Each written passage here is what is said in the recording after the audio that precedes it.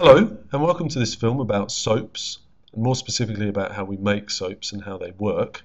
Um, a lot of what we cover here is based on ester hydrolysis, so it'd be great if you've watched the film about ester hydrolysis before you start this one. Um, but hopefully by the end of this film, you'll be able to understand why a fat molecule ought to be able to be hydrolyzed just like any other ester. So in other words, you can understand why a fat molecule is an ester.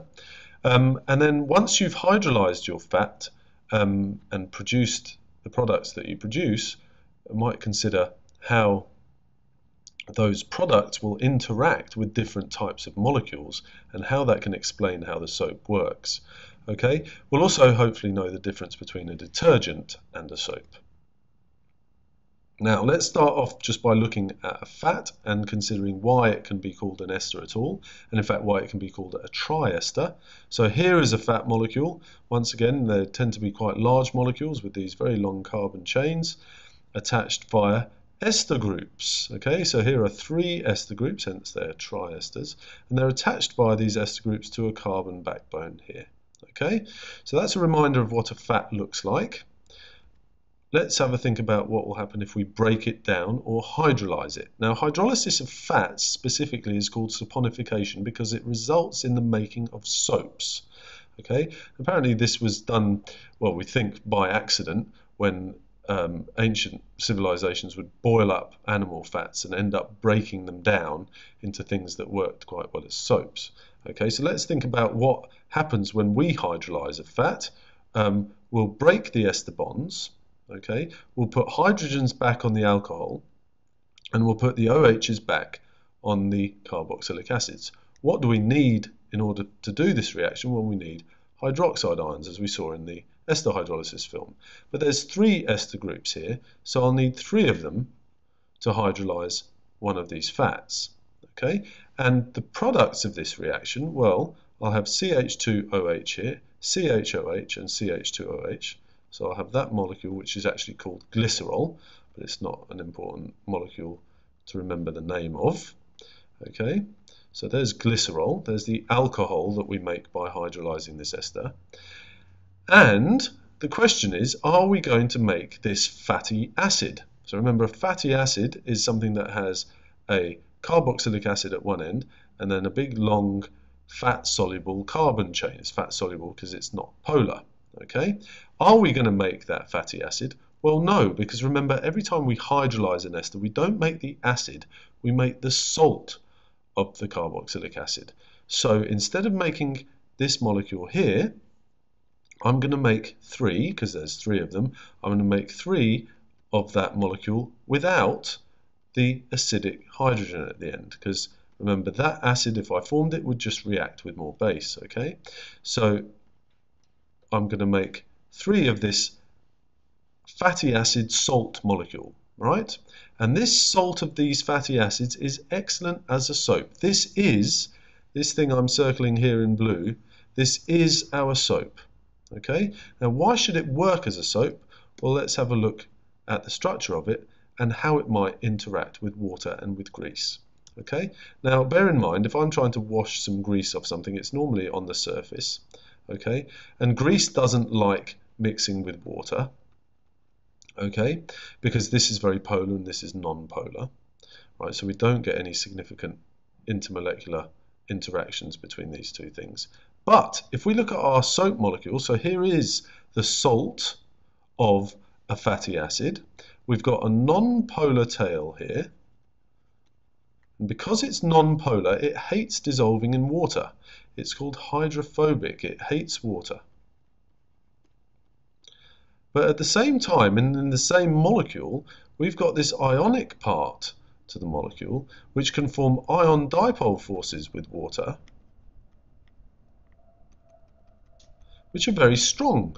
And so this part of the molecule is very water soluble indeed. In fact, it loves water and it's called hydrophilic, water lover. Okay? So because it's got a hydrophilic and a hydrophobic end, or a water insoluble but fat soluble end, and a water soluble but fat insoluble end, then this molecule can minimize its unfavorable interactions with water by burying, burying the part that dissolves well in fats in the grease. Okay, so the tails get buried in the grease. The heads, these ionic heads or the hydrophilic ends, they stick out of the grease because they like dissolving in water. And then we can actually maximize the amount of contact that there is between these polar ends of the molecules and water and minimize the amount of contact between non-polar molecules and water by forming these kind of structures which are called micelles. Now here's a fat droplet now which has been pulled off the surface.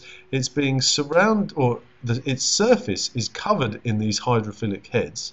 So its surface now appears very soluble in water and at the same time, the soap molecules are managing to avoid being anywhere near the water by burying themselves in the oil.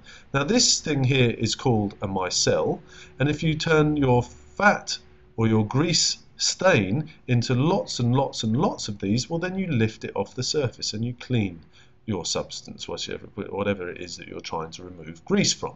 Okay, so by considering the intermolecular attractions between our soap and the grease and the water, we can explain how a soap does its job. Now we're just going to finish off by looking at the difference between detergents and soaps. Here is another diagram of a soap. It's called sodium because it's got a sodium ion here. Stearate because this long molecule here is called a stearate ion. Okay, so once again we can see this part of it that loves water and the part of it that hates water. Now the trouble with these molecules, with soap molecules, is that when they encounter ions like calcium and magnesium, which you can quite commonly have in your water supply, they form insoluble compounds with these. In other words, they'll precipitate out. And that precipitate is called a scum. And quite often, if you get out the bath and the water seems incredibly dirty, it's most often because there's a lot of scum in the water and your soap has formed precipitates with these ions. Now that's bad if you want your soap to do any cleaning because if it's, if it's involved in a precipitate then it can't be doing it can't be carrying out its cleaning action. The nice thing about detergents which instead of having the salt of the carboxylic acid at the end have these kind of groups at the end. The nice thing about these is they still have this hydrophobic tail they still have this hydrophilic head, but they don't form precipitates with the ions that we often find in water. So they don't form scums. And that's a major, major advantage of them because they continue to clean things even when there's these highly charged ions that tend to form precipitates. Okay, now if you remember, we said at the start of this film that we hope to understand why fat molecules could be hydrolyzed just like any other ester, why once we've broken down a fat, why the molecules that we end up with are quite good at forming intermolecular interactions, not only with water but also with grease molecules, and understand why that helps them clean. Okay, and we've just finished up by talking about the difference between detergents and soaps. As usual, any questions or comments, either come and see me or post a comment on YouTube.